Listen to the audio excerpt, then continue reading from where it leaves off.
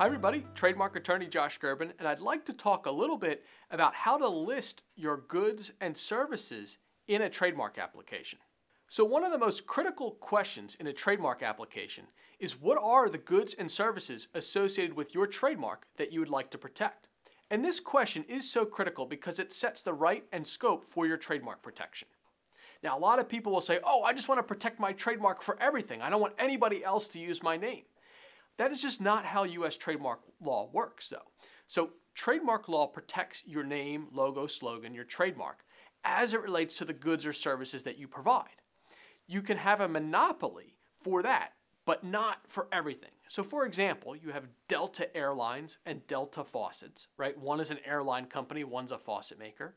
You have Dove Soap, Dove Chocolate, one's a chocolate maker, one's a soap company. So, even these large companies have to share their name. And you may have to share your name as well, but you can expect the rights to extend to whatever you're offering. And this is why, when you're drafting that particular language for the trademark application, you have to pay a lot of attention and you have to get it right. So let's take a look at the trademark application itself. Here is the page where you would put in the goods or services that you're offering or plan to offer under your trademark. And you can see there's a lot of text here, right? The USPTO has a ton of instructions, and that's because this is a hyper technical part of the application that is extremely important to get right. So this can be an incredibly difficult part of a trademark application to get correct. Here are three tips that I use to try to get the best language for any given client into their application. The first is we have to start by listing the products or services you plan to offer in layman's terms. This means stripping out all marketing language, industry lingo, and just being able to write down on a piece of paper what it is you're going to offer. So if it's a clothing brand, are you going to offer shirts and hats? If it's jewelry, will you be offering necklaces and bracelets? It gets a little bit more complicated. If you're offering a software program, what does the software program do? What are the functionalities of the software program? If you're going to offer a medical service, what kind of medical service? So just being able to write out and understand in layman's terms the goods and services you're going to offer is an extremely important step and surprisingly difficult for a lot of companies to complete. Now, the second rule when thinking about the goods and services you would like to include in a trademark application is to be realistic and not aspirational.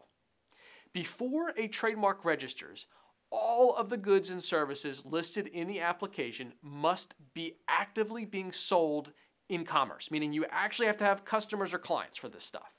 So if you pack your trademark application full of hundreds of products or all these different services that someday you plan to offer, that application cannot mature into a registration until you actually offer everything you've listed.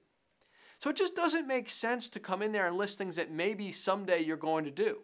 You really want to focus on things that are within one to a three year time frame at the most because we just don't want an application. First off, an application can't sit there for more than really three years. They will just actually cancel out your application if you don't have sales.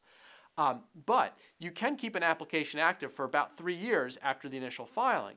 So you can include things you think are going to be close in the pipeline, right? But you don't want to be everywhere and just throwing in things because you think someday it's a good idea. Be very realistic about the goods or services you're going to offer.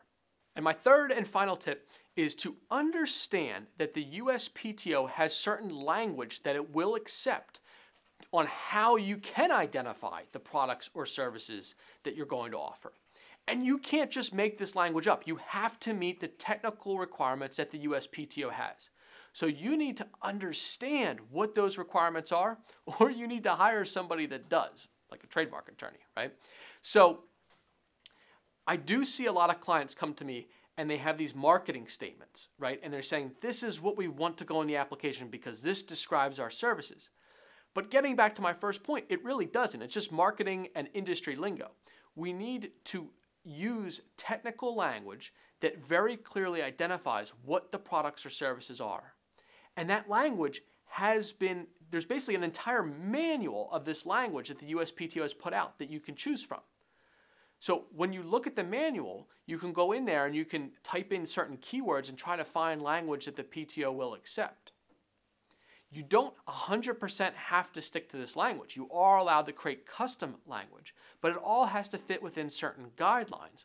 And if it doesn't, you'll receive an office action or potentially denial of your trademark application.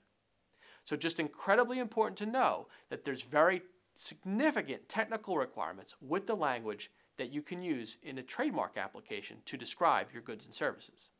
All right, so there you have it. Some tips on how to think about the language that you're using to describe the goods and services that go into your trademark application. I know it's not the funnest topic in the world, but this is critical. It sets the rights and the scope for the protection you're going to receive on your brand. So please pay a lot of attention to it when you're filing a trademark application. I hope you found this helpful, and I'll talk to you next time.